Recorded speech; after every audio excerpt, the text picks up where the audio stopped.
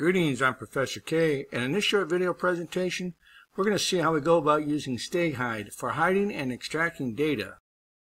StegHide is a steganography program that is able to hide data in various kinds of images and audio files. The color sample frequencies are not changed, thus making the embedding resistance against first-order statistical testing. Steganography is the process of hiding data in other content such as images, videos, and network traffic. And it continues to play a role in modern attacks in several different forms. Most uses of steganography in malware can be divided into two broad categories. The concealing of the actual malware in the contents of the image or the audio file, and the concealing of the command and control communications channel, such as a backdoor.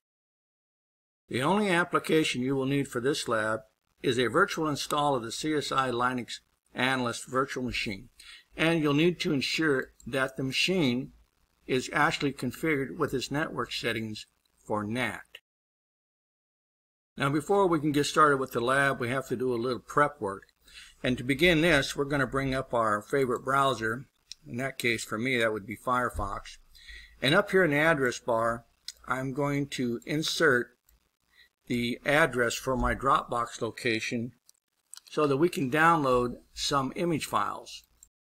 Now you can copy and paste this from the lab file into your browser's address bar up inside of the CSI Linux Analyst. So once you have the Dropbox location up, just go over here to the right where it says Downloads, and you're going to do a direct download. Now you're going to go ahead and save the file. Click OK. And you'll notice up here that it lets you know that the file downloaded successfully into your downloads location for Firefox. So let's go ahead and open up that directory. And we're just going to find that zip file for your stenography images. Now once you find the file for your stenography images, just go ahead and highlight it. Now hold down your left mouse button and just drag it on over to your downloads location. You can close out your file explorer and now you can go into your file system and you can go down here to your downloads and you'll see that you have a stenography images.zip file. Now what we're going to do is we're going to extract everything inside of this zip archive. We're going to do this just by double clicking it. And now we're just going to select extract. Now we're going to have everything extracted into the downloads directory. Now what we're going to do is we're going to create a new folder. We're going to call it images. Now with our images extracted, we're going to right click anywhere inside of this white space and we're going to select create a new folder. We're going to call this folder images with lowercase i and we're going to create. Once you have that folder created, you're then going to just hold down your left mouse button on each one of these images and just drag them on over and place them inside of your images folder. Once you've moved all your images into the images folder, just go ahead and open it up and you'll see that it has everything that we need to complete this lab. Go ahead and close out your File Explorer. And we're going to visit the location of where we saved those images using the terminal.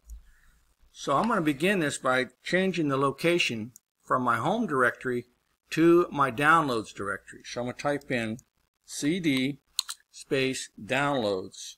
And downloads has a capital D. Hit enter. Now you'll notice that my prompt changes to let me know that I'm inside of the download directory. Now I'm going to do an ls to show the contents of my downloads directory. And you'll see that I have a folder inside of the downloads directory called images. So let's do a cd images so that we can see what's inside of my images folder hit enter.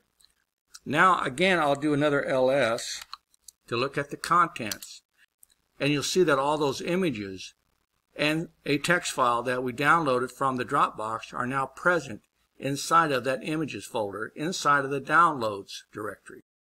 Now for the remainder of the lab, this is the directory that we will be working out of. Up here in my view, I'm going to go ahead and zoom in just one time and make this a little bit bigger I'm going to extend my terminal just a little bit here. And what we're going to do now is we're going to embed one image into another image. Now to do this, I'm going to be using StegHide. Now the command that I'm going to use is StegHide space embed space EF space now I type in the name of the image that I want to embed. Give that a space. Type in dash CF space the name of the file that I'm going to embed the first image into. So I'm going to embed a file that is an image of Mona Lisa into another image called zebras.bmp. Let's go ahead and hit enter. Now the first thing it's going to ask you for is the passphrase because you have to give this a password. Now you're going to need that password to extract this image from this destination image that we just created. So make sure you remember it. Then you're going to have to type it in one more time and remember that this is Linux so you're not going to see what you're typing when it comes to passwords. Once you've typed in the new passphrase, StegHide is going to begin the process of embedding the Mona Lisa.jpg into the zebras.bmp file. And it only takes a few seconds, so you'll see that if you look at the output from your terminal, that it is completed. So I'm going to move my terminal over just a little bit so that I can see the icons on my desktop.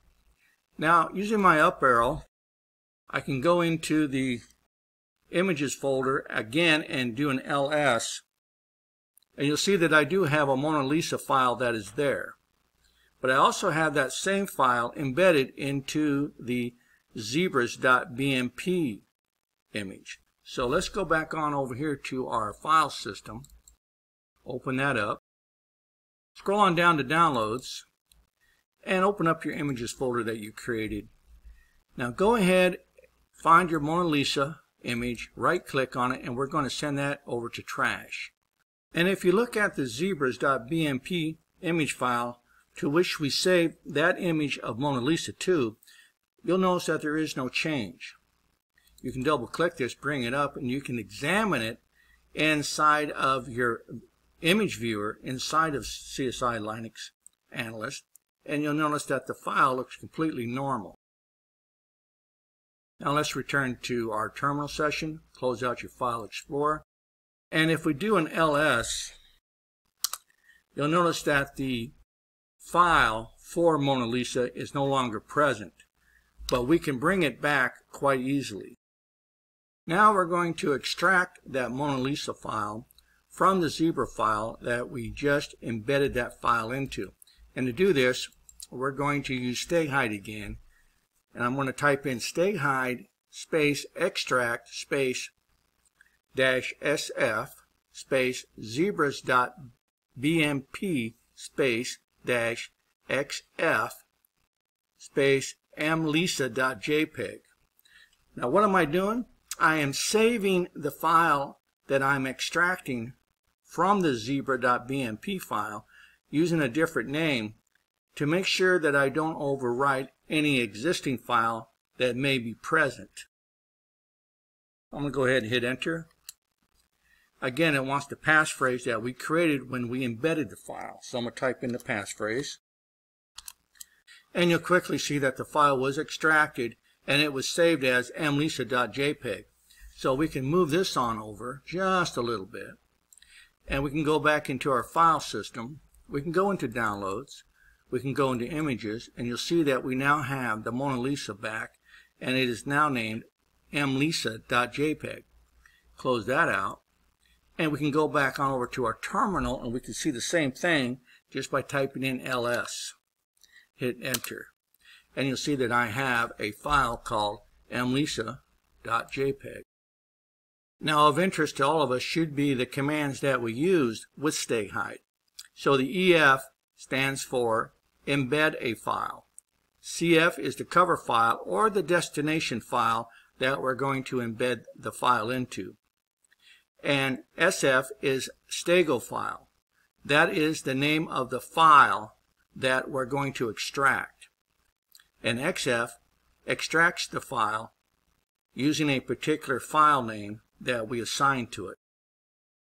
So there are some caveats when you're doing this type of steganography.